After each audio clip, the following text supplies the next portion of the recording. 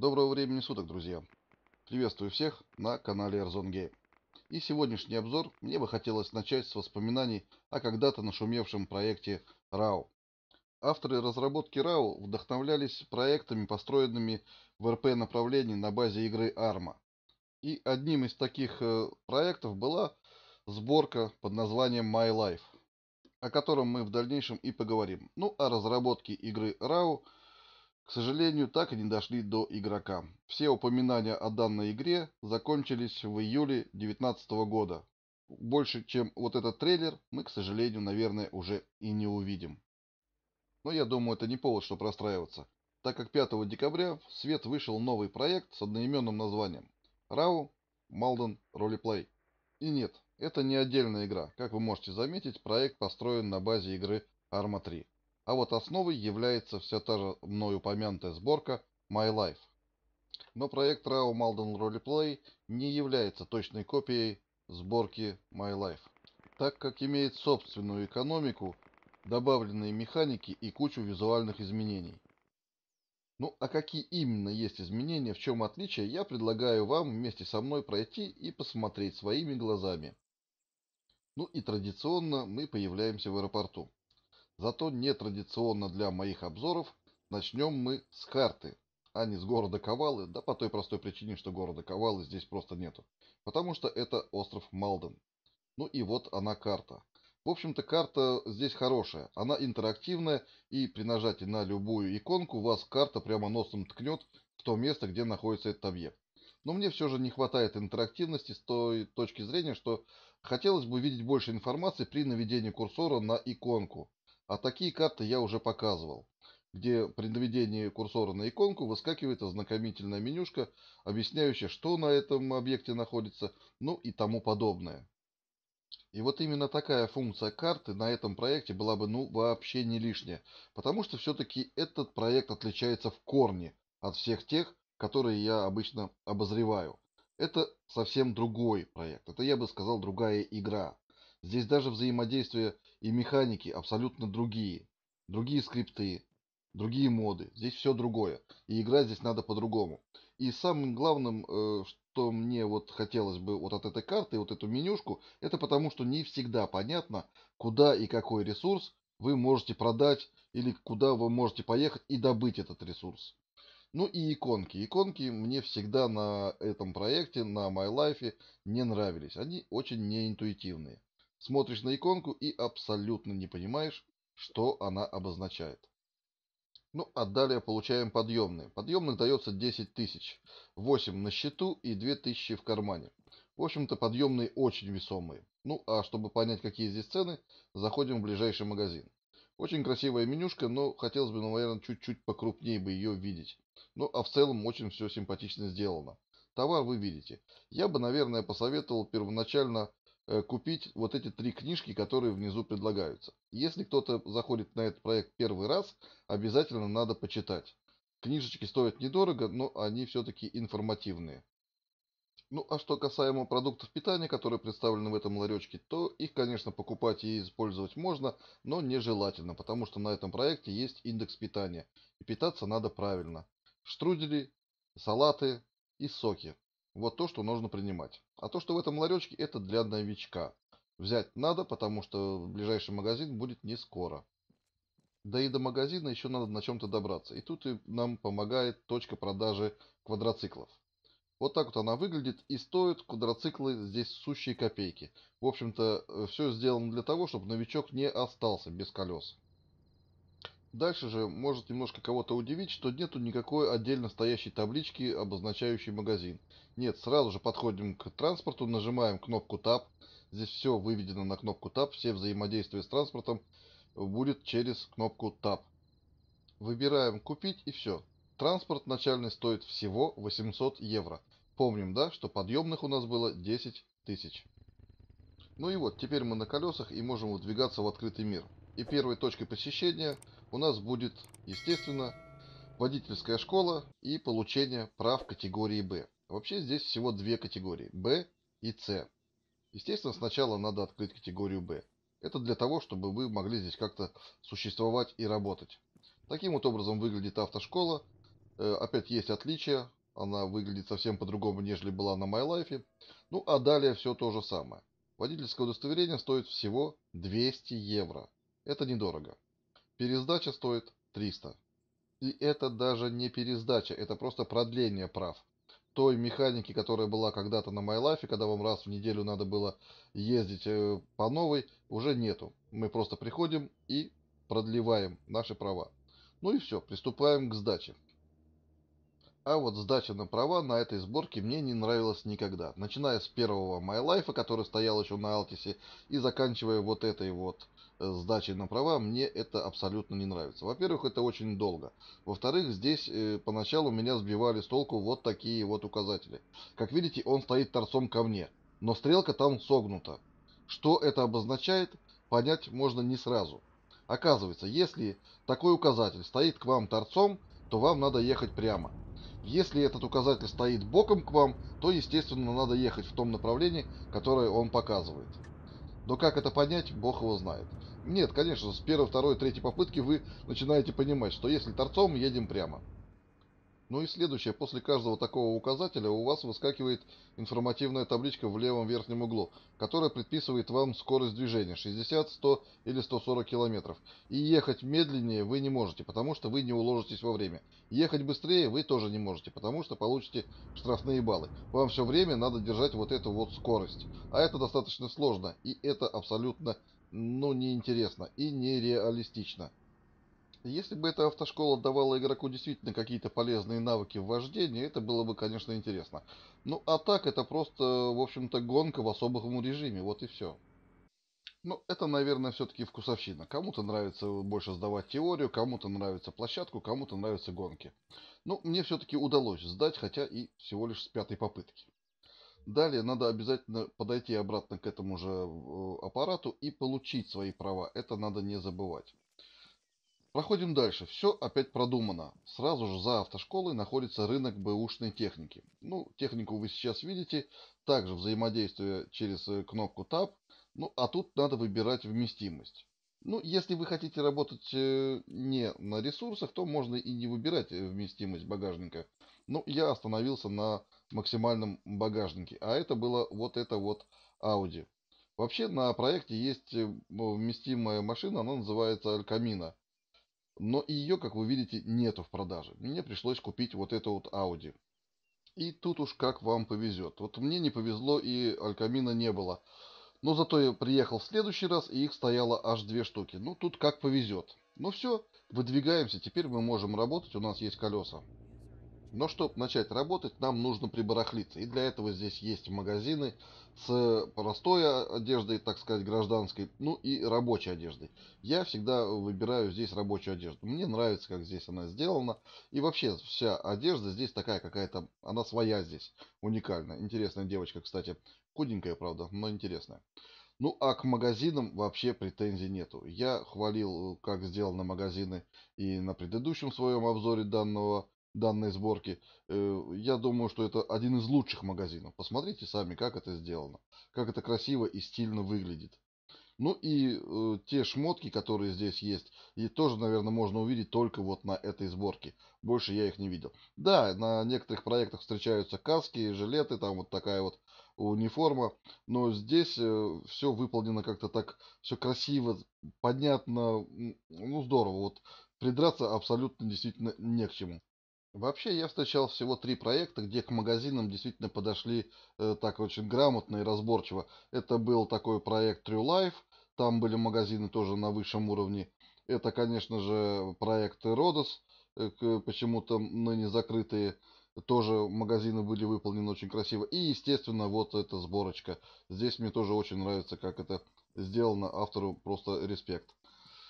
Ну и, э, естественно, куда же мы без инструментов? Но я на самом деле пока вам просто покажу. Инструменты тоже на этой сборке все свои. Тут какие-то болгарки, гриндеры, э, машинки для свертывания самокруток. Ну, в общем, э, все очень и очень нестандартно. Ну, как я и сказал, я ничего для себя не купил. Потому что просто хочу вам показать, что можно начать здесь какую-то трудовую деятельность, вообще, в принципе, не имея ничего. Есть машина, есть рюкзак, и вы уже можете существовать. И существовать вы можете на сборах плодов. Плодов огромное количество. Огромное. Я покажу вам виноград и, наверное, бананы. Собирая эти плоды, вы можете их просто продавать. Продавать собранные вами плоды вы можете на общественном рынке или напрямую предприятиям, которые скупают эти плоды. Также вы можете приобрести лицензию индивидуального предпринимателя и уже самим изготавливать те же самые продукты. Вариативность на этом проекте просто зашкаливает. Все зависит от вас. Ну и анимации. Конечно же анимации. Это вам не тяпкой персики собирать, скажу я вам. Антуражность и атмосферность здесь присутствует на любой локации, куда бы вы ни зашли. Ну и возвращаясь к работе, самый простой вариант. Собрали урожай, приехали на рынок. Вот таким вот образом выглядит рынок. Здесь стоит бабушка Божий одуванчик. Вот ей-то мы и будем продавать весь наш собранный урожай. Это самый простой вариант. Здесь мне очень нравится меню. Э, нравится в меню то, что не надо бегать в машину и постоянно перегружать. Выбираем в менюшке нашу машину и содержимое машины сразу же переносим бабушке. Замечательно. Единственное, что мне вот не нравилось и не нравится до сих пор, это то, что надо вписывать вручную. Нету кнопки «Выбрать сразу все». Ну да и ладно, мы двигаемся дальше. И слава богу, что данный проект предлагает нам огромный э, выбор э, разных вариантов. Я выбрал вариант э, работы с каким-нибудь предприятием. Для этого я набрал хлопка, но вот то, о чем я говорил. А куда его продавать? Очень бы не помешала вот эта табличка интерактивная на карте с пояснениями, что вот здесь продается это, здесь продается это, а если вы хотите продать, то езжайте туда-то, туда-то. В общем, вот этого немножко не хватает. Ну, вот нелегкая занесла меня, пока я ездил по разным предприятиям в поисках, куда же мне продать хлопок. Я заехал на автомобильный завод. Здесь делают машины. Собирают и продают машины. И вот каково же было мое удивление, когда в магазине автомобильного завода я увидел, что они покупают доски. Вот если бы я занимался досками, я бы ни в жизни не догадался поехать на автозавод. Доски на автозаводе нужны, наверное, только в том случае, если они собирают ладу калину. Здравствуйте. Здорово. Слушай, не скажешь, куда можно хлопок сдать? А, хлопок, это сейчас скажу. Секунду. По идее, хлопок должен скупать э, текстильный завод.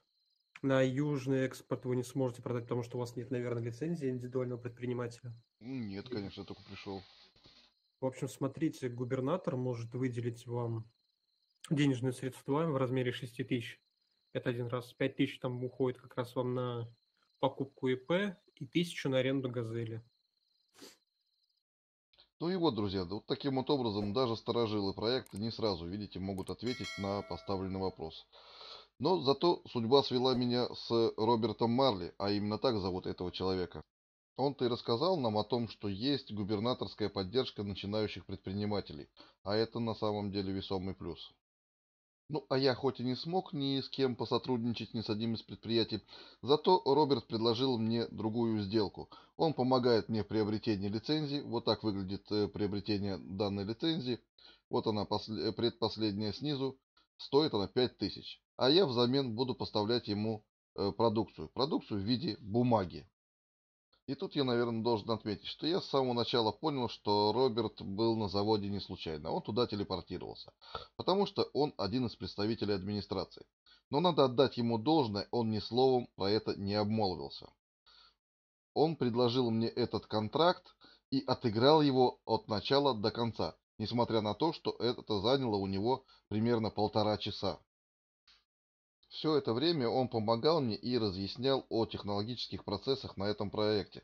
А они действительно есть очень сложные. Если касаемо того, что мы сейчас делаем, а то есть мы рубим дерево и из дерева делаем бумагу. Это самые простые технологические процессы. Но даже они не сводятся к банальному поедь, собери ресурс, переработай, продай. Нет, здесь немножко посложнее. И еще одно, что меня удивило, это на подобном проекте, который, в общем-то, заточен под фарм, будем откровенно говорить, но даже здесь стоит автоподбор. Заметьте, я рублю дерево, и все, что я срубил, автоматически падает мне в рюкзак. Ну так или иначе, лицензия после выполнения контракта у меня осталась. Теперь я частный предприниматель и могу себе позволить производить какую-то продукцию или, например, арендовать склады. Склады выглядят вот таким вот образом. Это контейнеры. Контейнер можно арендовать сроком на сутки. Стоит всего 1000 евро. И э, далее вы можете развозить его по тем э, торговым точкам или предприятиям, с которыми договоритесь.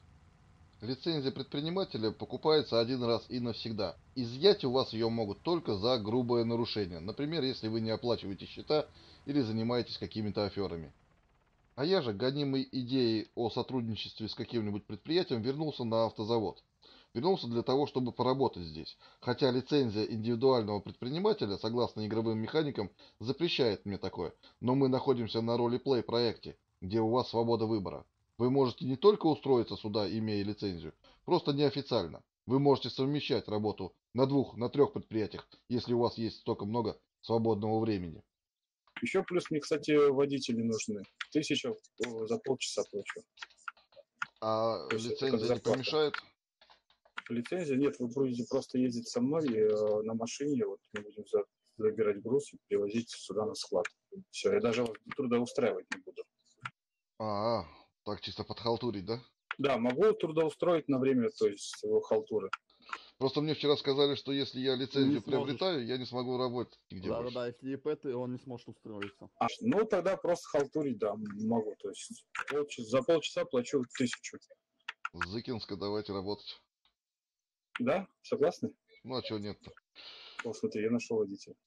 Но его, друзья, таким вот образом вы можете устроиться с самого начала на любое предприятие, а можете и сразу на два. На одно официально, а на другое в качестве халтуры, вот как я вам сейчас это показал, не имея даже прав. Но я приехал за правами, и надо получить категорию С. Получается она так же, как и категория Б, но мне показалось, что на С сдавать гораздо легче. Во-первых, маршрут гораздо короче, ну, просто в разы короче. Времени тоже, конечно же, дается меньше, но маршрут не такой сложный, как на категории Б. Вам не надо гонять, вам надо ездить по э, небольшой локации, но, правда, слишком много поворотов. Повороты, развороты. В общем, э, сдача на грузовик мне понравилась больше.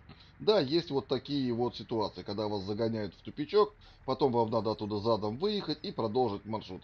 Таких поворотов очень много. Есть небольшой лайфхак. Если у вас есть какая-то машинка или может быть какой-то друг с вами зашел, сначала проедьте, и как видите я сначала проехал и уронил заборы, чтобы вам потом было проще здесь маневрировать. Тогда вообще вопросов никаких нету. Видите, я сначала проехал и повалил нафиг все заборы. Заборы, помойки и тому подобное. Все, эту категорию я получил в отличие от категории Б с первого раза. И после получения категории С, вернувшись на завод, меня уже ждала машина. Работа не пыльная. Я съездил три рейса э, за какими-то материалами. Материалов э, для завода нужно очень много. Но работа, я вам скажу, очень даже не пыльная. Просто катаешься, тебя загружают, тебе даже не надо загружать и разгружать. Просто катаешься. Работа не бей лежачего. За час работы, за три ходки я получил 2000. И я выбрал это предприятие просто потому, что я сюда уже заезжал. Каждое предприятие, которое здесь стоит на этом проекте, это отдельный шедевр. Они все оформлены очень красиво, антуражно, атмосферно, э, все уютные места. Вы можете выбрать ну, абсолютно любое другое предприятие. Их здесь много. И химическая, и пищевая промышленность, и литейные заводы, и нефтяные заводы. Их огромное количество, огромное. И на любой, э, куда бы вы ни пришли, вас с удовольствием примут. Рабочие руки, люди везде нужны. Главное не стоять на месте, общаться, разговаривать. Мы на РП проекте, поэтому пробуйте, пробуйте, и у вас все получится. Ну, а если вы не хотите начинать с самых низов или работать на дядю, то на этом проекте есть система кредитования. Давайте послушаем о этой системе о кредите. Как это происходит? Это происходит в несколько этапов. Ты в Дискорде подаешь заявку, пишешь свое имя, отчество, что ты э, свои фамилию, имя, что ты хочешь взять кредит на, на машину там или на дом, к примеру, да, то есть у нас два человека взяли кредиты на машину. Он пишет, э, Смотрите, то есть э, в Дискорде, в канале кредитования вы пишете, прошу рассмотреть возможность заключения кредитного договора для приобретения автомобиля или для приобретения дома, примеру, да? А И имя свое оставляете. Администрация смотрит президента а, и отписывает вам, что э, заявка принята и назначает дату встречи в банке.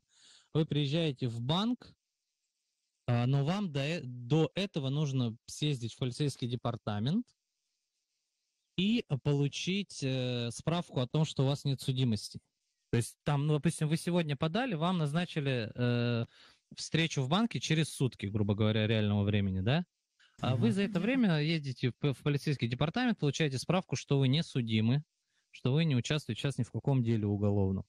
Все, приезжаете в банк в назначенное время, показываете эту справку, если она у вас есть, э, вам э, на счет, получается, на ваш банковский счет перечисляются деньги.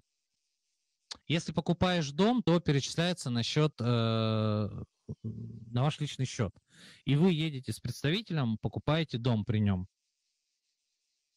А если вы покупаете машину, то банк перечисляет деньги конструкторскому заводу. Вы просто забираете потом ПТС на этот автомобиль. Если машина стоит дороже 50 тысяч, да, там, допустим, 60, там, 70, 90, р- остальную разницу вы гасите сами, то есть, ну, на заводе сами оплачиваете. Как гасится кредит? У вас есть две недели на то, чтобы вернуть эти деньги с процентами. Процентная ставка 10%. Взяли 50 тысяч, возвращаете 55. А, можете хоть каждый день по тысяче вносить, можете хоть э, единоразово вносить. То есть вы, когда хотите заплатить э, кредит, да, там, ну, какую-то часть погасить, звоните губернатору, он с вами встречается, вы передаете ему эти деньги наличкой, либо переводите со счета на счет, как вам удобно. А он помечает, считает, сколько загашено. Если к моменту двухнедельному окончанию срока вы не погасили кредит, у вас заберут этот дом, либо заберут эту машину. И то, что вы уже заплатили, вам не вернут, соответственно. То есть там написано, у нас есть прям документ по федеральному банку, что кредит берется под залог имущества, которое вы покупаете. Срок установлен, проценты и сумма, то есть, э, ну, можете хоть 10 тысяч взять, если вам не хватает. Можете хоть 50, хоть 100 на дом, естественно, если. Ну вот, друзья, такая вот кредитная система есть на этом проекте. И она позволит вам как можно быстрее стартануть и развиваться. Но надо понимать, что в данной ситуации от вас потребуется огромное количество времени. Потому что денежки просто так не вернутся. Ну а если вы воспользовались кредитом и разбогатели, то вот, пожалуйста, вы можете приобрести вот такую вот, э, я бы сказал, э, коммерческий комплекс. В него входит вот этот магазинчик и заправка, стоящая рядом. Вот этот комплекс можно приобрести. Стоит он 1 миллион игровой валюты и 5000 э, евро ежемесячно. В общем-то, абонентская плата, я бы сказал, совсем невелика. И эт- этим магазинчиком вы можете пользоваться. В этом магазине вы можете продавать все, что угодно. Не считая э, топлива, которым вы можете торговать, естественно, по своей цене, в этом магазине вы можете продавать все, что угодно. Хотите ресурсы, хотите делайте свои продукты и продавайте свои продукты. Хотите просто в соседнем магазине купите какой-то товар и продавайте ее в своем магазине по завышенной цене. В общем, вариантов много. Делайте, что хотите. Вот такой вот торговый э, коммерческий комплекс стоит 1 миллион. Ну а если вы человек настойчивый и добьетесь на этом проекте того, чего вы хотели, то перед вами может открыться вот такая вот уникальная вещь. Многоквартирный дом. Это действительно уникальная вещь, которую я встретил только на этом проекте. Больше я не видел этого нигде. Здесь можно покупать квартиры. Выглядит это все вот таким вот образом, как вы сейчас видите. Мы сейчас смотрим квартиру люкс класса, но есть и подешевле. На любом этаже вы можете выбрать себе любую квартиру. Последний этаж это квартира класса люкс, у которой есть даже вот такие вот жалюзи. Плюс к этой квартире еще и есть э, пати-зона, на которой планируется поставить вертолетную площадку. Вот такие вот красивые виды у вас откроются. Но сам факт того, что я ни на одном проекте ни разу не встречал чтобы можно было покупать квартиры. Только здесь это вот, этот вопрос решили и каким-то образом э, внедрили в игру. Честно говоря, не знаю, как они этого добились. Продажа квартир на армовском движке это, это утопия. В дальнейшем планируется построить дома и бюджетного класса, тоже многоквартирные, но это пока еще в планах. В планах у разработчиков очень много. Планов много, они амбициозные, какие-то планы они уже внедрили, над какими-то работают, какие-то еще будут только в ближайшее время. Но в целом, вот такой вот у меня получился обзор этого проекта. Проект, э, мне кажется, достойный. Мне он понравился. Есть много интересных решений, нововведений, которые отличают, в общем-то, эту сборку от э, стоковой, так назовем ее, MyLife'овской сборочки. И даже несмотря на то, что эта сборка с самого начала была заточена на тяжелый и долгий фарм, все ж таки разработчики этого проекта, мне кажется, это понимают, и поэтому вводят сюда вот такие вот моменты, связанные с облегчением для игрока.